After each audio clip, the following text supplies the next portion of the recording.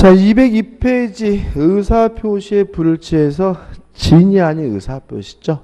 음, 일단 개념은 의사와 표시가 불일치됐고요. 그 사실 뻔히 알면서 하는 것이 진이 아닌 의사표시입니다. 예를 들면 속으로는 10원짜리 알마 한 푼도 줄 마음이 없으면서 말로는 1억을 주겠다고 한 경우고요. 이렇게 의사 표시가 불일치되면 법률행위 해석을 하게 되는데 원칙이 무슨 해석이죠? 규범적 해석이니까 표시된 대로 1억을 줘야 되는 것이 원칙이다. 원칙이 뭐하죠? 유효하죠. 다만 언제 자연적 해석을 하게 되냐면 상대방이 알았거나 또는 알 수가 있었다면 자연적 해석을 하고요. 그러면 속마음대로 1억을 줄 필요가 없다는 얘기니까 상대방이 알았거나 알 수가 있으면 뭐가 되죠? 무효가 되는 거죠. 다만 추가되는 것은 이 무효를 가지고 선의의 제3자, 모르는 제3자에게 뭐하지 못하냐면 대항하지 못합니다. 교재 보신 법조문이 나와 있죠. 107조 1항이죠. 의사표시는 표의자가 진이 아님을 알고 한 것이라도 그 효력이 있다. 원칙적으로 유효하다는 얘기죠. 그러나 상대방이 표의자의 진이 아님을 알았거나 알 수 있었을 경우에는 무효로 한다. 이왕 전항의 의사표시 무효는 선의의 제3자에 대항하지 못한다. 이렇게 나와 있죠. 의 나와 있고 요건 뭐 특별한 건 없습니다. 1번 의사표시가 존재해야 된다. 2번 의사 표시가 불일치되고요. 3번 불일치됐음을 스스로 어떻게요? 알고 해야 되고요.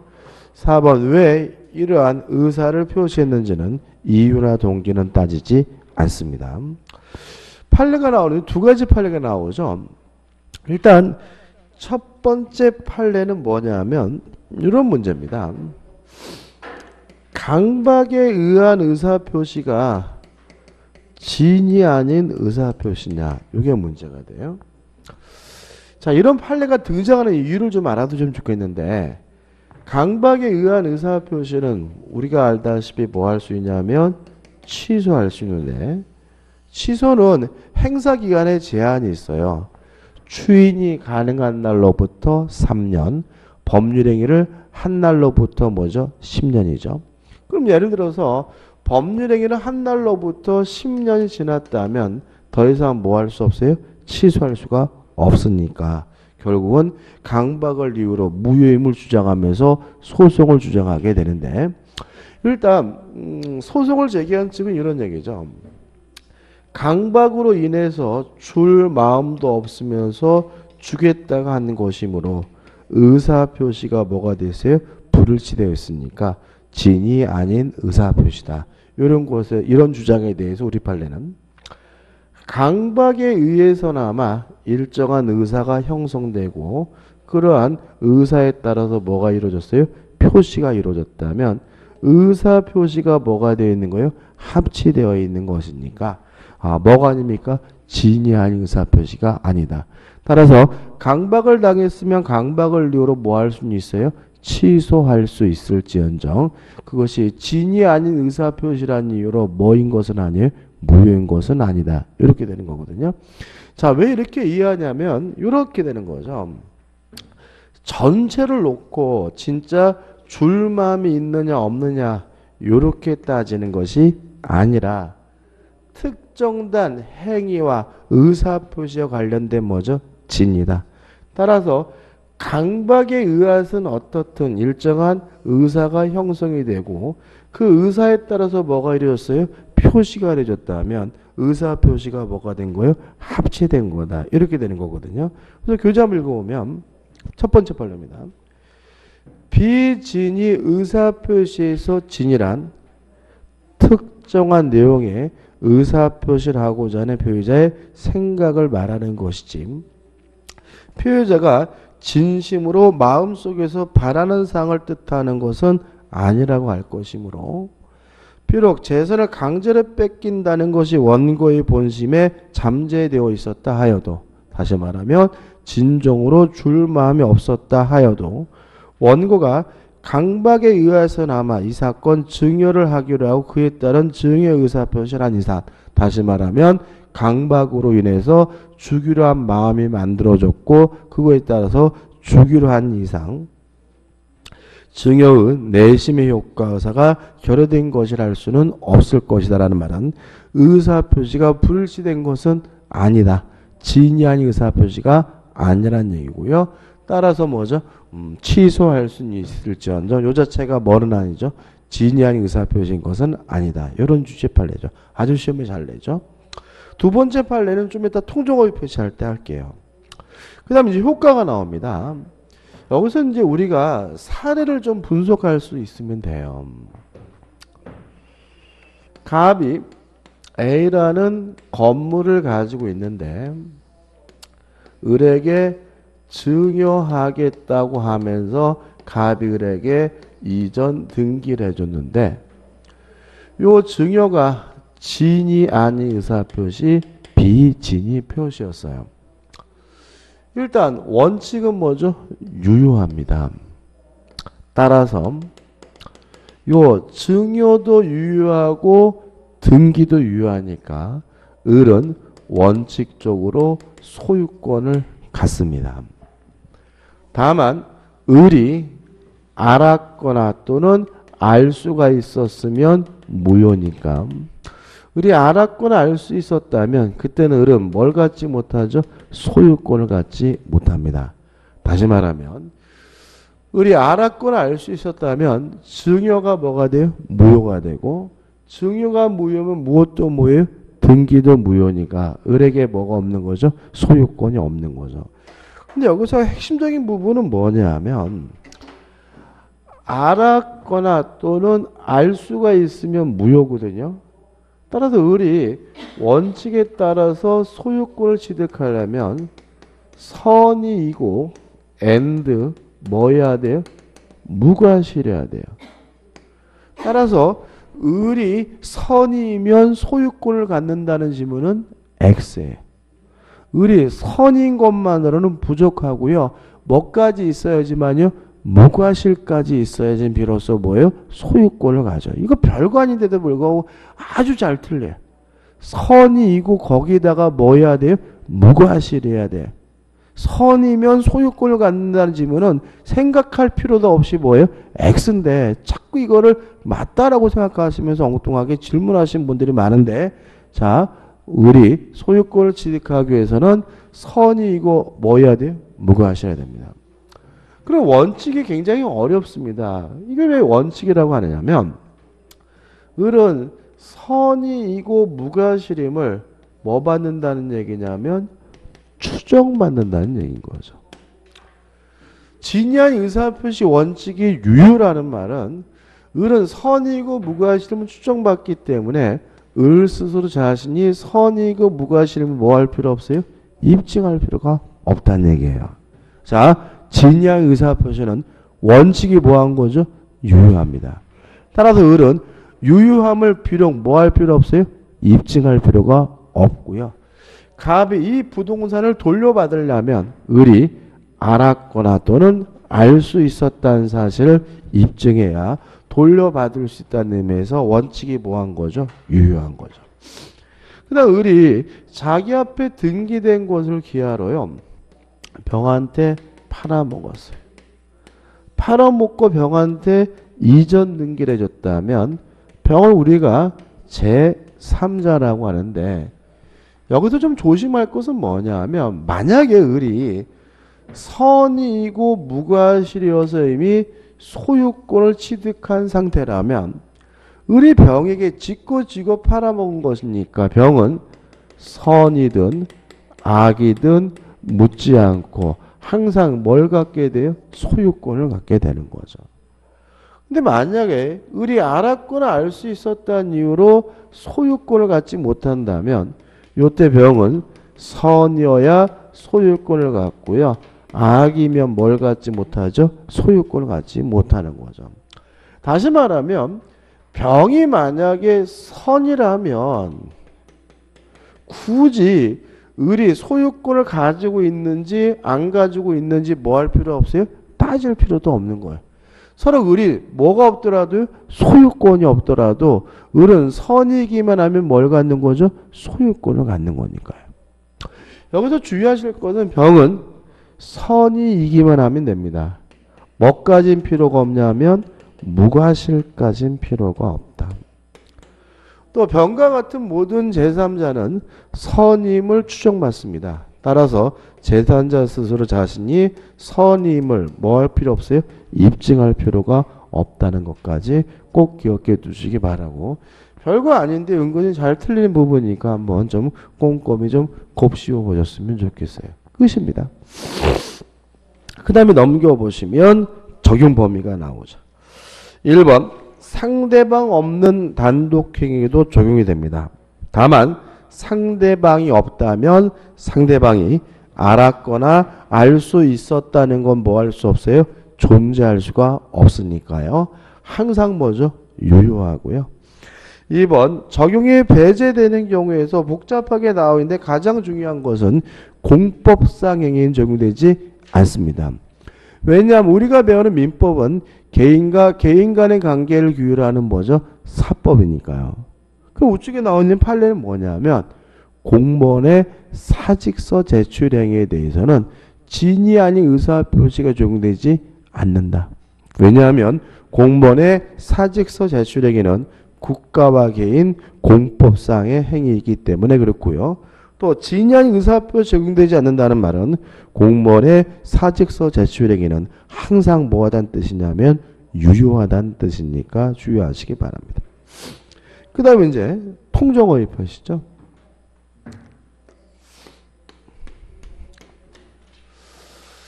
자, 의사와 표시가 불일치됐고요. 그 사실을 알면서 했다는 것까지는 진이한 의사 표시와 같습니다. 추가되는 것은 뭐냐면 상대방과 통정 짜고 하는 거죠. 따라서 진이한 의사표시가 거짓말이라면 통정어의 표시는 상대방과 짜고 하는 거짓말을 말하고요. 효과는 항상 예의 없이 무효입니다.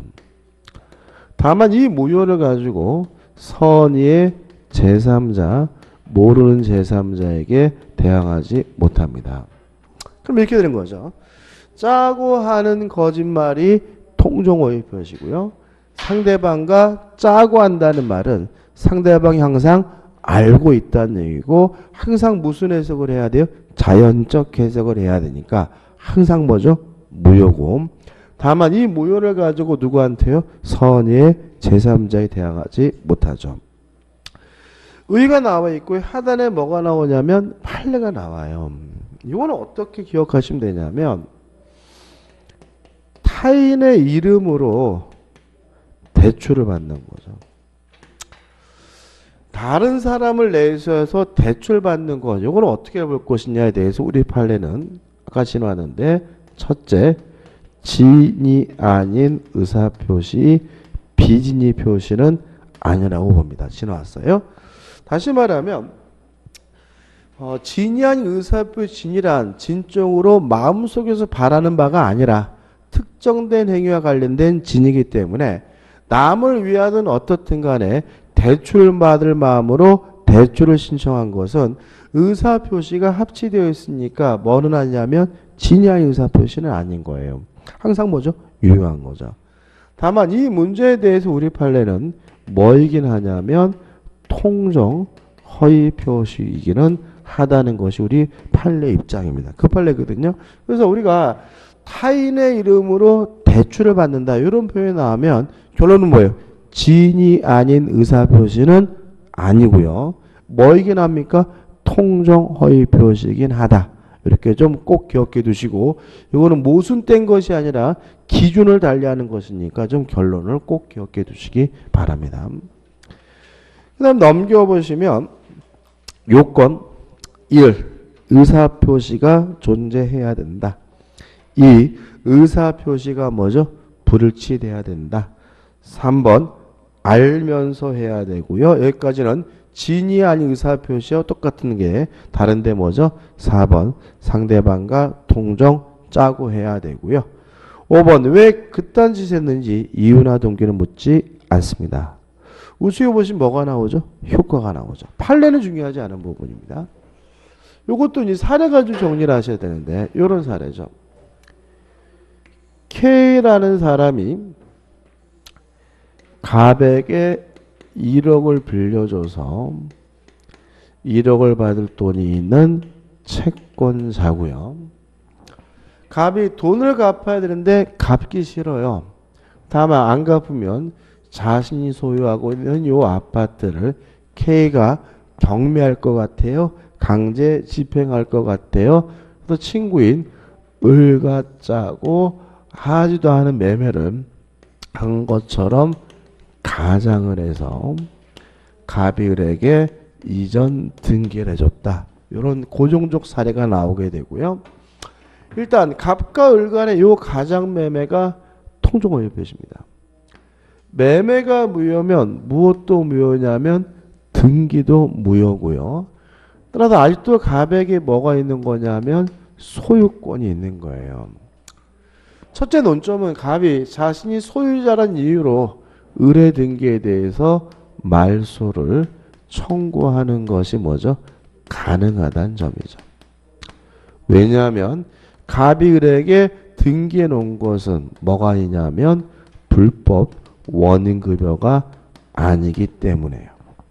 자, 우리가 음, 채무회피 돈을 안 갚으려고 하는 행위는 인간 본성에 바르니까 뭐하지 않죠? 반사회적이지 않죠. 따라서 갑이 을에게 가짜로 등기해 놓은 것은 통정어의 표시여서 무효인 것이지 요차 자체가 뭐인 것은 아니에요. 반사회적인 것은 아니므로 갑이 을에게 등기해 놓은 것은 뭐가 아니에요. 불법 원인급여가 아니기 때문에 갑 스스로 무효라고 주장하면서 의뢰 등기에 대해서 뭐 할 수 있습니까? 말소를 청구하는 것이 뭐죠? 가능하다. 꼭 기억해 두셔야 되고요. 그 다음 채권자도 갑 의뢰 등기에 대해서 말소를 청구할 수가 있는데 주의하실 것은 갑을 대의해서 의뢰 등기에 대해서 말소를 청구할 수가 있고요. K가 을에게 직접 말소해 달라고 뭐 할 수는 없어요? 청구할 수가 없다는 거 주의하시기 바라고. 그 다음에 이러한 갑의 행위는 뭐이기도 하죠? 사해 행위이기도 한 거죠. 다시 말하면 채무자가 재산을 돈을 갚기 싫어서 재산을 도피시킨 사해행위이기 때문에 사해행위라는 이유로 취소하는 것이 가능하다는 것이 우리 판례 입장임을 주의하시기 바랍니다. 그 다음 을이 자기 앞에 등기된 것을 기하로요. 병한테 팔아먹었어요. 팔아먹고 병한테 이전 등기를 해주면 요 병을 우리가 뭐죠? 제3자라고 하고요. 병이 만약에 선이라면 확정적으로 뭘 갖습니까? 소유권을 갖습니다. 왜냐하면 통정어의 표시 무효는 누구한테 대항하지 못하죠? 선의의 제3자에게 대항하지 못하니까요. 물론 이 사람은 선이 이기만 하면 되고 뭐까지는요? 무과실까지는 필요가 없고요. 또 제3자는 선임을 추정받음으로 스스로가 제 선임을 뭐 할 필요 없어요? 입증할 필요가 없다는 것은 어, 진의한 의사표시와 똑같죠. 그 다음 병이 또다시 정에게 팔아먹고 정에게 이전 등기를 해주면 이때 정을 우리가 전득자라고 하는데 만약에 병이 선이어서 이미 확정적으로 소유권을 가진 상태라면 정전득자는 선악 불문하고 뭘 갖습니까? 소유권을 갖게 된다는 것까지 꼭 기억해 두시기 바랍니다. 이게 이제 기본적 흐름이에요. 여기까지 꼭 기억해 두시고 조금만 다시 한번 생각해 보자고요. 갑이 을과 만나가지고 하지도 않은 매매를 한 것처럼 가장을 해서 갑이 을에게 이전 등기를 해줬더니 을이 병에게 또 팔고 병에게 이전 등기를 해줬는데 병이 선이에요.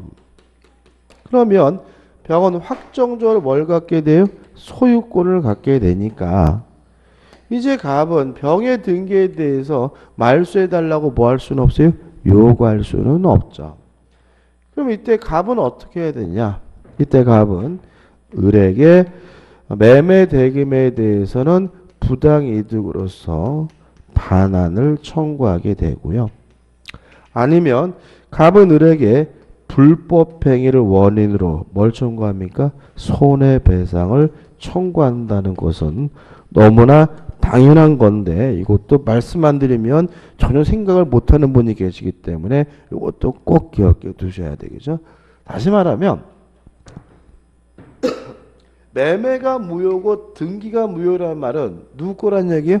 갑의 것이라는 말은 을이 병한테 팔아먹고 등기해주면 속된 말로 을은 갑의 집을 뭐 한 거예요? 팔아치운 거잖아요. 그죠? 따라서 당연히 을의 행위는 뭐예요? 불법행인 거고요. 또 을이 병한테 팔고 받은 돈은 뭐예요? 부당이득이니까 갑은 을에게 돈 달라고 뭐 할 수 있어요? 요구할 수 있으면 너무나 뭐죠? 당연한 건 거죠. 그죠? 좀 유의하시기 바라고. 교재 보시면요. 이러한 내용이 음, 우측에 207페이지부터 나오니까 한번 읽어보시고 넘겨보시면 208페이지에 이제 3번 해가지고 허위 표시에서의 선여 제3자 의미가 나와 있거든요. 자, 이건 무슨 문제냐면 병을 제3자라고 하는데 이 제3자가 누구냐? 이 문제예요. 일단 갑과 을 당사자는 제3자가 아닙니다. 또 을에서 병으로 만약에 상속으로 넘어왔다면 제3자가 아니에요. 왜 그러냐면 상속은 민사상 법적 주의도 뭐예요? 승계시키죠. 아버지가 당사자면 상속받은 사람도 뭐 해야 돼요? 당사자야 되는 거예요. 그래서 당사자와 상속받은 사람 포괄생계는 뭐가 아닙니까? 제3자가 아닌 거고요. 그 다음에 유의하실 것은 요 K도 뭐가 있냐면 제3자가 아니라는 점입니다. 자, 왜 그러냐면 당사자와 포괄생계를 제외한 사람 중에서 새롭게 이해관계를 가진 사람만이 뭐냐면 제3자예요. 다시 말하면 제3자가 되려면 뭐 해야 돼요? 새로워야 되거든요. 그래서 요 병가정처럼 통정허위 표시 후에 이해관계를 갖게 된 사람은 새롭기 때문에 뭐가 됩니까? 제3자가 되지만 K처럼 가장 매매 전에 돈을 빌려준 사람은 새롭지 않기 때문에 뭐가 아닌 거예요? 제3자가 아닌 거예요. 그래서 자칫 하단에 박스로 정리되어 있는데 이거를 외울 거는 아닌데 항상 조심할 것은 뭐냐면 전이냐 후냐 문제예요. 오늘은 하나씩 볼 건데 박스 좌측에 제3제 해당하는 자에서 1번이 나오잖아요. 자, 한번 읽어볼게요. 가장 매매 매수인으로부터 그 목적물을 다시 매수한 자는 제3자입니다. 왜냐하면 이 사람이 다시 샀다는 말은 가장 매매 후에 샀으니까 새롭기 때문에 뭐가 되는 거예요? 제3자가 되는 거죠. 2번 가장 매매 매수인으로부터 저당권을 설정받은 자 제3자입니다. 왜요? 언제 저당권을 설정받았으니까요? 가장 매매 후에 저당권을 설정받았으니까요. 어떤 행동을 하시면 안 되냐면 저당권을 설정받은 자 이렇게 외우시면 안 된다고요. 물론 이게 저당권이 아니라 뭐예요? 전세권일 수도 있고 지역권일 수도 있고 뭐일 수도 있어요? 뭐 지상권일 수도 있는 거죠. 다시 말하면 새로워야 뭐가 되는 거예요? 제3자가 되는 거죠. 3번 읽어보셨고 4번 가장 매매 매수인으로부터 가등기를 취득한 자 제3자입니다. 왜 이 사람이 가, 제3자인 거예요? 가장 매매 후에 가등기를 했으니까요. 물론 시험에 어떻게 나온 줄 느끼세요? 가장 매매 전에 가등기를 한 자. 그럼 뭐가 돼요? X가 되는 거죠. 가장 매매 전에 길한 사람은 새롭지 않기 때문에 뭐가 아닌 거예요? 제3자가 아닌 거예요. 뭐 돌아갈 수도 있겠죠. 그 다음에 나머지 것들은 더 이상 볼 게 없어요. 그 다음 우측에 보시면 제3자에 해당하지 않는 자가 나오잖아요. 1번 가장 양수인 일반 채권자는 요 K를 말해요. 양도인의 일반 채권자든 양수인의 일반 채권자든 제3자가 아닌 것으로 봅니다. 그 다음 2번 가장 매매 기한 손해배상 채권의 양수인 이거 외우시는 게 좋은데 뭐냐면 요거예요 요거 지금 을이 병한테 팔아먹고 이전 등기에 대해서 병이 선이어서 소유권을 가졌어요. 그러면 갑은 을에게 불법 행위를 원인으로 뭘 청구할 수 있어요? 손해배상을 청구할 수 있는데 요 손해배상 청구권을 예를 들어서 정에게 양도했다면 요 정이 누구냐면 가장 매매기한 손해배상 채권의 양수인입니다. 이 사람 뭐가 아니냐면 제3자가 아니에요. 왜 아니냐면 이해관계가 없어요. 제3자는 뭐냐면 무효로 인해서 손해를 볼 위험이 있는 사람만이 제3자입니다. 만약에 무효면 유리한 경우 무효가 되어야 좋은 사람은 이해관계가 없는 사람이기 때문에 뭐가 아닌 거예요? 제3자가 아닌 거예요. 만약에 갑이 을에게 아 정이 아 다시 갑이 을에게 손해배상을 청구하려면 요 매매가 무효여야 손해배상을 청구할 수 있는 거잖아요. 그죠? 그러면 무효여야 손해배상을 청구할 수 있다. 이 채권을 양수한 사람은 무효면 좋은 사람이지 무효로 인해서 뭐 보는 사람이 아니에요? 피해를 보는 사람이 아니기 때문에 이해관계가 없기 때문에 뭐가 아닌 거예요? 제3자가 아닌 거예요. 그냥 이거 외워두시는 게 좋아요. 그 다음에 제3자를 위한 계약에서 수익자는 처음부터 포함되어 있는 사람이기 때문에 새롭지 않기 때문에 제3자가 아니고요. 4번 채권의 가장 양도에 있어서 채무자는 언제 돈 빌렸냐면 가장 양도 전에 돈을 빌렸기 때문에 새롭지 않기 때문에 뭐가 아니에요? 제3자가 아니고요. 5번 저당권 등 제한 물건의 가장 폭이 있어서 기존의 후순위 제한 물권자죠. 그러면 기존이라는 말은 가장 포기 전에 이미 제한 물건을 취득했다는 얘기고요. 따라서 이 사람도 기존이라는 말 속에서 새롭지 않기 때문에 뭐가 아니에요? 제3자가 아닌 거예요.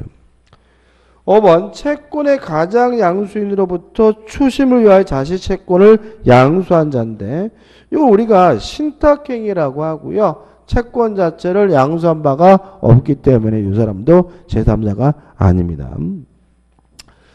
그다음 우측에 4번 철회 통종어의 표시는 철회하는 것이 가능합니다. 왜냐하면 철회란 효과가 발생하기 전에 효과 발생을 막는 것을 말하고요. 통정어의 표시 항상 뭐죠? 무효죠. 아무런 효과가 없으니까 뭐 할 수 있죠? 철회할 수가 있고요. 5번 적용 범위에서 조심할 것은 상대방 없는 단독행위, 상대방 없는 의사표시는 적용되지 않는다. 왜냐하면 통정어의 표시는 상대방과 뭐 해야 돼요? 통정 짜야 되죠? 상대방이 없다면 뭐 할 수 없어요? 짤 수가 없으니까요. 그 다음에 구별 개념에서 1번에서 뭐가 나오냐면 은닉행위가 나오죠. 갑이 소유하고 있는 A 건물을요.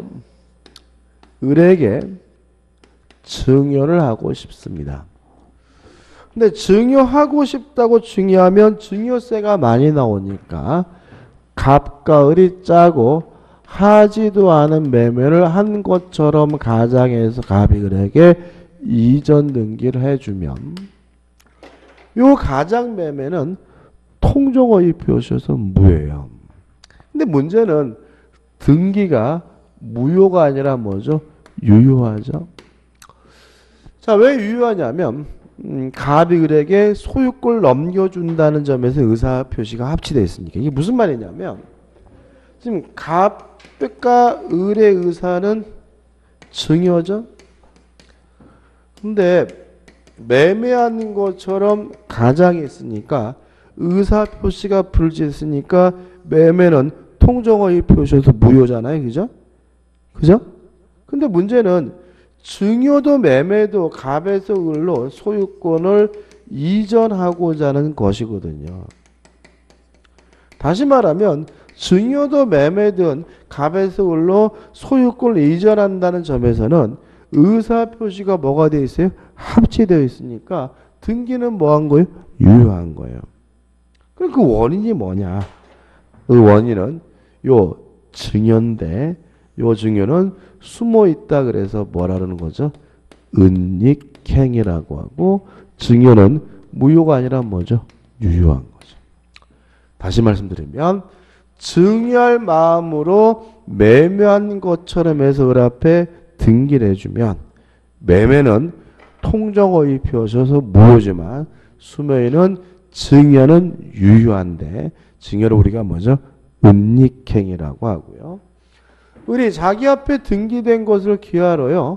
병한테 팔아먹고 병에게 이전 등기를 해주는 것은 지껏 지가 팔아먹는 것이니까 이때 병은 선이든 악이든 묻지 않고 항상 뭘 갖게 됩니까? 소유권을 갖게 된다는 것까지 기억해 두시면 되겠죠. 끝입니다. 그 다음 넘겨보시면 뭐가 나오냐면 신탁행위가 나와요. 신탁행위 한번 씩 읽어보면 이렇게 돼 있거든요. 어떤 경제적 목적을 달성하기 위하여 상대방에게 그 목적 달성에 필요한 정도를 넘는 권리를 이전하면서 이렇게 나와 있는데 키가 되는 거는 뭐죠? 넘는 권리입니다. 다시 말하면 신탁행위라는 것은 주고자 하는 것보다 큰 것을 주는 척하는 것을 우리가 신탁행위라고 하고요. 신탁행위로서 우리가 기억해야 될 것이 두 가지죠. 첫째, 양도담보입니다.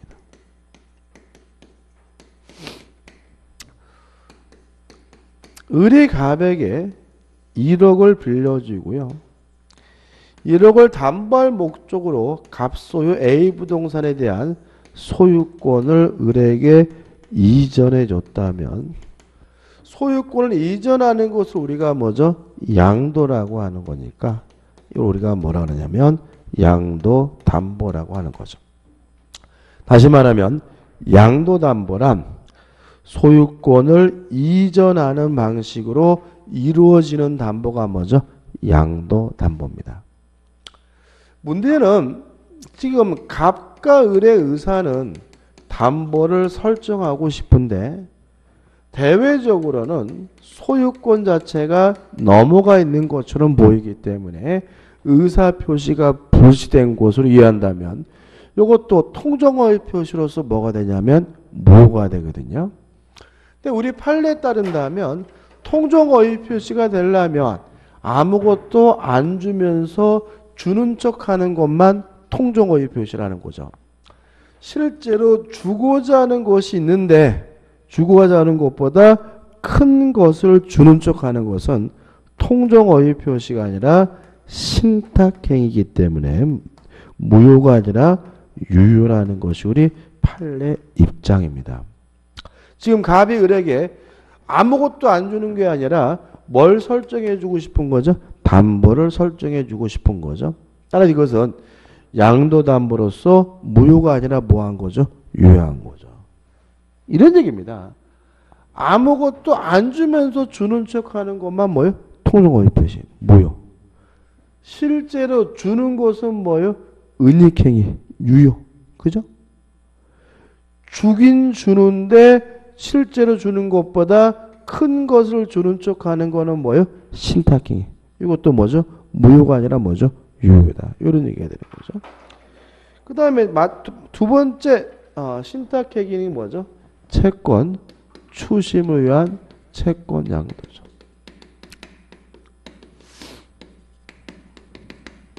이런 얘기죠. 을이 갑에게 1억을 줘서요. 1억 달라고 요구할 수 있는 채권이 있는데 병이 갑에게 찾아가서 을에게 돈을 갚으라고 얘기했더니 갑이 네가 뭔데 지랄 거느냐라고 하길래 병이 을에게 뭘 요구했냐면 채권을 양도해 준 것처럼 해주면 내가 요놈한테 가서 떳떳하게 돈 달라고 지랄 걸어 줄게. 이게 뭐죠? 채권 추심을 위한 뭐죠? 채권 양도. 실제로 우리 병에게 주고자 하는 것은 뭐예요? 대신 돈을 받을 수 있는 뭐예요? 대리권 정도인데 채권 자체가 넘어가 있는 것처럼 보이니까 이것도 주고자 하는 것보다 큰 것을 주는 쪽 하는 거기 때문에 통정원유 표시가 아니라 뭐예요? 신탁행위고 신탁행위는 뭐죠? 모가 아니라 뭐죠? 유효다. 이렇게 되는 거죠. 끝입니다. 그 다음에 아, 사행에 나와 있죠. 채무자가 돈 갚기 싫어서 재산을 도피시키는 걸 우리가 뭐죠? 사행이라고 하고 사행위는 채권자가 뭐 할 수 있죠? 취소할 수 있는데 이걸 우리가 채권자 취소권이라고 하죠. 시험에 잘 나는 거는 뭐죠? 이 부분이죠. 어, 통정어의 표시는 사행위로서 뭐 할 수 있어요? 취소하는 것이 뭐죠? 가능하다. 이 정도만 기억해 두시면 되고요. 그 다음에 이제 뭐가 나오죠? 착오가 나오는데 착오를 쉬었다 보죠. 그죠? 또 시작하면 탄산 걸리니까 쉬었다가 착오를 보도록 하겠습니다.